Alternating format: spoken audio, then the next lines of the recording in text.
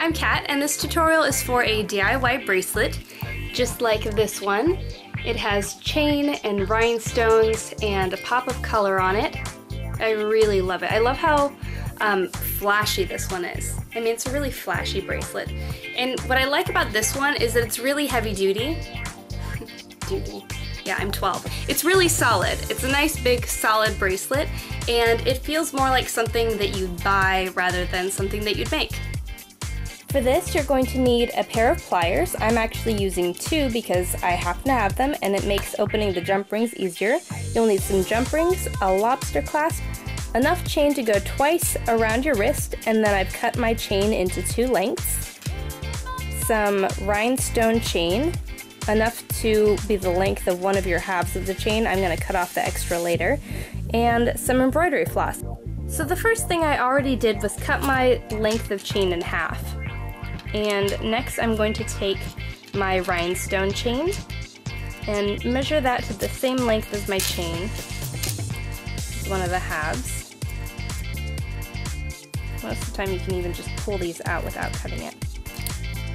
You can use scissors to cut through it because it only has these tiny little metal flaps in between.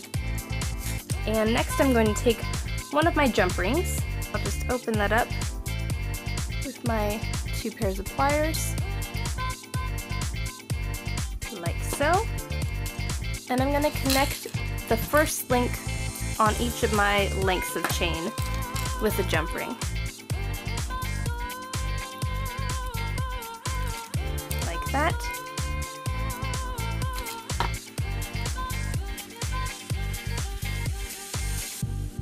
Close it up.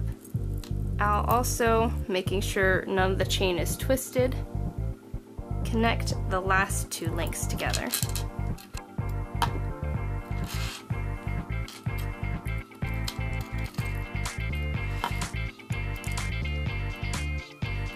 Close it back up.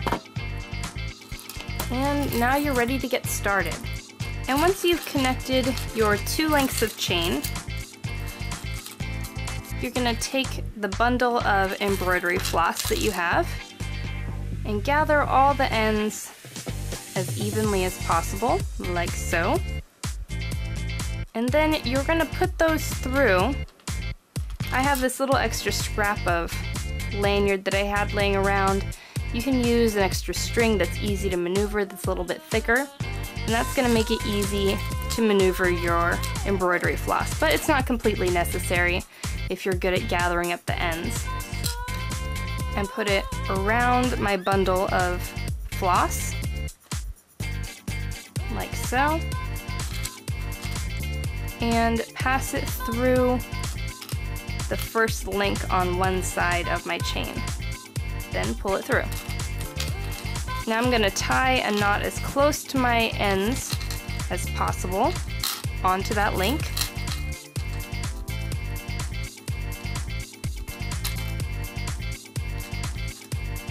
Not too close because you don't want it to slip out,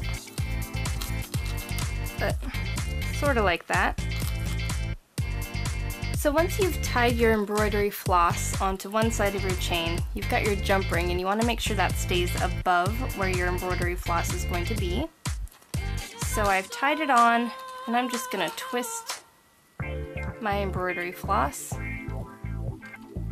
and put it back through the other side of the chain. And it's going to go around the back, twist it again, and bring it through the front. So then once that is a little bit more secure, I'll bring in my rhinestone chain, set that on top, and put the embroidery floss in between the first two rhinestones. It's gonna go around, and again, we're still on the first two links on here. I'm gonna twist that embroidery floss again, put it back through the left side of chain, bring it around the back, that's nice and secure. And bring it forward, making sure I have all the ends of this right here, kind of back tucked away. Bring it around the back and bring it forward through the second link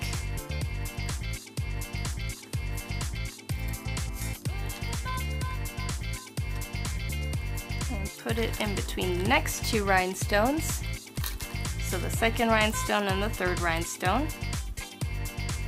Twist it. Put it back through the second link on the left chain. Bring it around the back. Bring it forward through that second link again. Then I'm going to put it between that second and third rhinestone one more time. Back through the second left chain link one more time.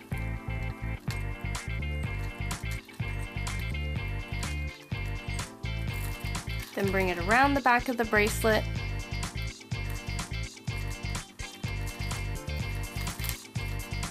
Again, making sure all the ends from that original knot are being contained. Twist it, bring it forward through the third link finally.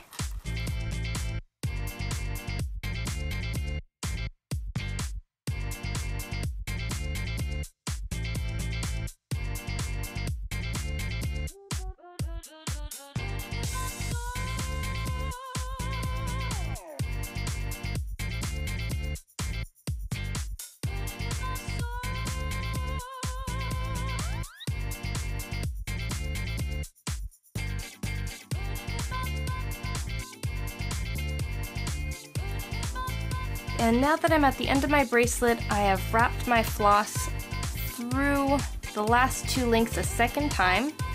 And before I finish it off, I'm going to basically tie it in a knot with that last loop. And pull it tight.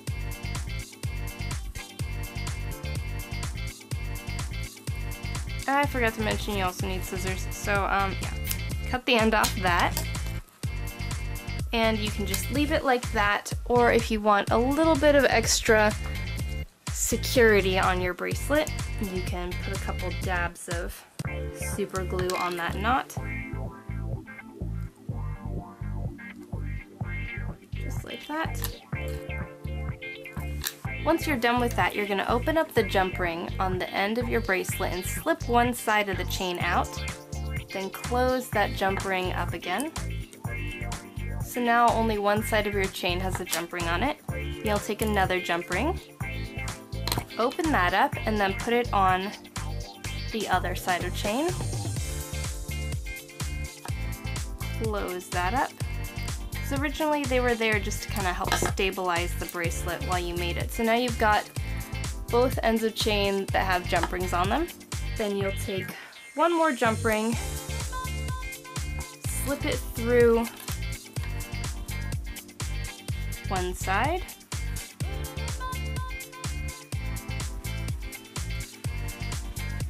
Then the other side.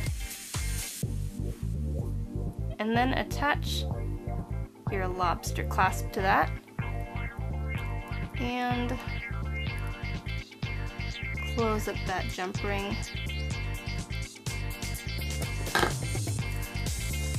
Now you've got your lobster clasp on there and on the other end you can either add jump rings onto this end to hook it into or you can also open this one up.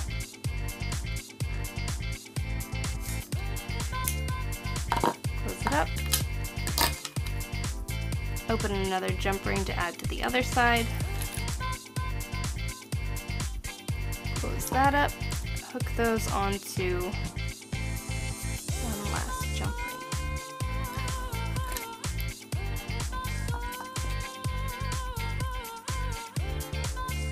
Now you've got something for your lobster clasp to hook onto. And that is your finished bracelet.